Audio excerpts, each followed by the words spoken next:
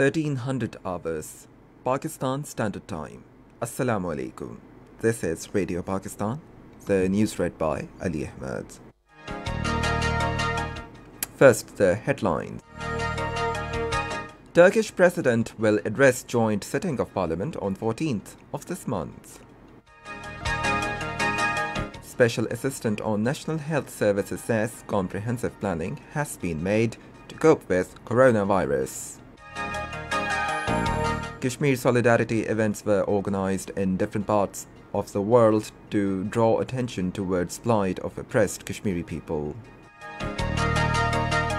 The first test of two-match series between Pakistan and Bangladesh will be played in Rawalpindi tomorrow.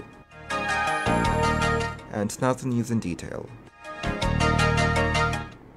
Turkish President Recep Tayyip Erdogan will address the joint sitting of the parliament on the 14th of this month. This was stated by Speaker National Assembly Asad Qaiser during the National Assembly session today. The speaker said that he will also hold consultations with all the parliamentary leaders on the matter. Parliamentary Secretary for Finance Zain Qureshi told the House during question hour that the government is taking necessary steps to ensure fiscal discipline, stabilize economy, and accelerate the growth. President Dr. Arif Alvi has stressed the need for taking care of children in terms of their nutrition so that they can be saved from stunting and malnutrition.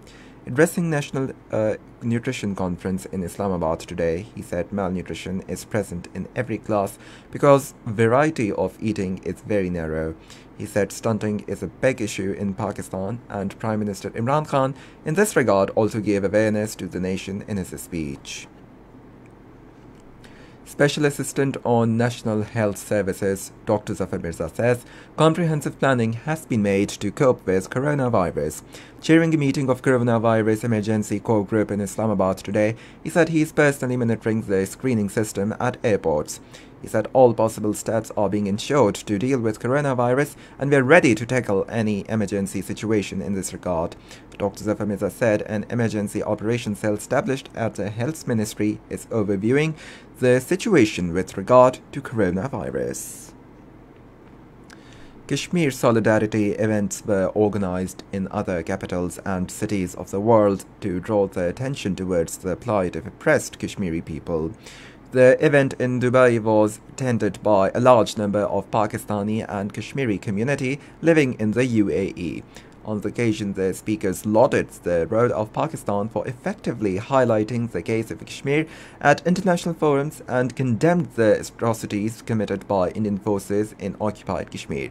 In Geneva, a protest demonstration was staged by Pakistan Geneva Association and Pakistan Swiss Friendship Forum in front of the UN office to support the Kashmiri struggle for the right to self-determination. In London, a protest was staged by students of City University London in front of 10 Downing Street. The students chanted slogans against the brutality of Indian forces in occupied Kashmir and fascist policies of Modi against the minorities. In Oslo, Norway, a protest demonstration was organized by Pakistani and Kashmiri diaspora in front of Norwegian parliament to mark the solidarity with the people of occupied Kashmir. They chanted slogans against India. A protest demonstration to commemorate Kashmir Solidarity Day was staged by the civil society in front of Dhaka Press Club, Bangladesh.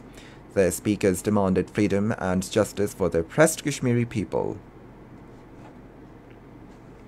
In London, Conservative Party at Kashmir conference has called upon the Indian Prime Minister Narendra Modi to end lockdown and atrocities in occupied Kashmir. Addressing the conference, the AJK president Sardar Masood Khan said that India under Modi's fascist philosophy is beating the war drums while Pakistan is showing patience. Iran's supreme leader Ayatollah Ali Khamenei says US controversial plan for Israel-Palestine will certainly not work. In his speech aired on state television, Ali Khamenei said Iran would support Palestinians as much as it can. The first test of two-match series between Pakistan and Bangladesh will be played in Rawalpindi tomorrow. The match will start at 10:00 hours Pakistan Standard Time. Radio Pakistan will broadcast running commentary on the match. And that is the end of the news. For more news and analysis, log on to our website radio.gov.pk. And for the live video streaming of our bulletins, visit the link facebook.com slash Radio Pakistan News Official.